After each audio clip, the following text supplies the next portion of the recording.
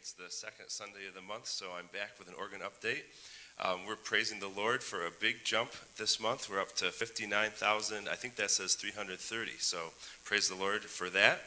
Um, the piece I'm going to play today is variations on Ellacombe. You might be wondering what Ellacombe is. That's just the tune name. What you usually know is in the hymnal, it's 128. It's uh, I Sing the Mighty Power of God. So if you want to follow along, and what I chose this for is you can hear all the little things the organ can do. There's some reeds.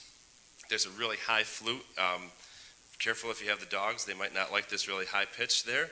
Um, I've got some flutes. I've got some principals, which is that singing voice. And then the last one is nice and loud like we like it.